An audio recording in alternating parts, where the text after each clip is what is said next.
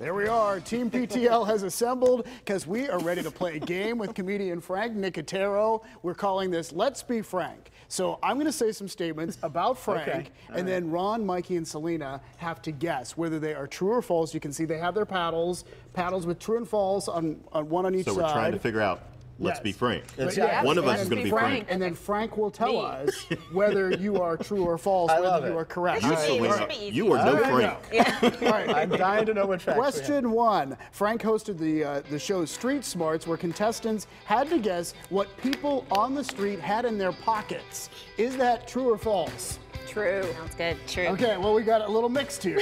All right, Well, it's answer? true. I did host a show, Street Smarts, which we did a pilot for a reboot, so hopefully it oh, happens. Oh, really? Warner Brothers keep trying to sell it, but they didn't. Oh. I wasn't just trying to find out what people had in their pockets. So oh. Ron's got that. Yeah, right. that Yeah, right. right. Exactly. I That was an interesting show, though. Next question. Also illegal, I believe. Wait, perhaps. Frank's cousin is a well-known special effects artist in the movies. Is that true or false? True. True. Oh, everyone says true. That is true. My cousin's Greg Nicotero, who's uh, EP of Walking Dead, who's actually flying in town tonight, and we're going to be hanging out tonight somewhere. Oh, that's so, awesome. Okay. Uh, he's going to dress me as a zombie for my show tomorrow night. No, he's not. Uh, but yeah, Greg's my cousin. All right, next up. Frank was voted class clown three years, three years in a row at North Allegheny. True or false? True.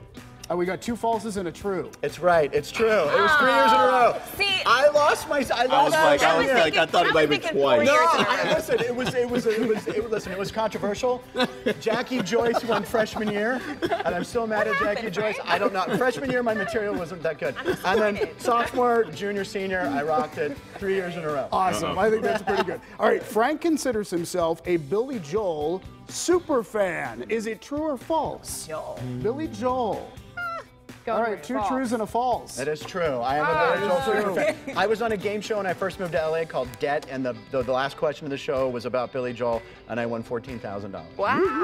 So yeah, fourteen thousand one hundred six to be exact. Who's keeping score? Who's, Yeah. Oh, so really? keep- Is, is anyone keeping? Is Daryl keeping score? is this the No, honorary keeping system? I don't know. I I got two right. Okay, yeah, I know I'm winning. Yeah, Ron is winning. We, we can say that. All right, here's another question. Frank began collecting thimbles in junior high. He now has more than 800 of them. Is it true or false? Nipples, like sewing? Like, Thimble collection. Yeah. False. False? um,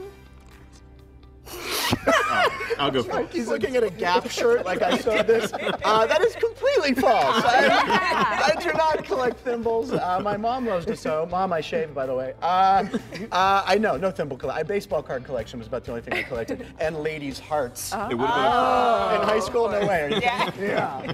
All right, now the last question. If you paid attention carefully to what Frank has told us already today, you may be able to get this question. We know Frank is a show host, but he was once a contestant on a game show and won $14,000. is that true or false? All right, you were all listening. I'm I sorry. think you still won. I ruined the game.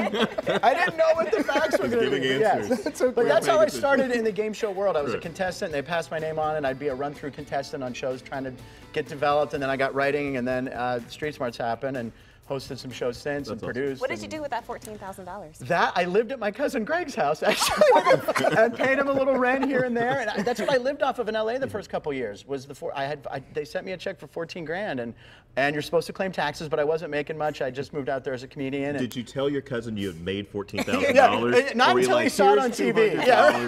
Let I'm me like, take it's all, yeah, house. it's all I have. um, no, he knew I won, but uh, yeah, he took care of me. But yeah, that, that money was really important to win, and, and it kind of got me on this path of game shows. I mean, I've always been a stand-up, but I kind of got in the game show mm-hmm. world and you know do warm-up for some of the network shows now and stuff. So it's really strange.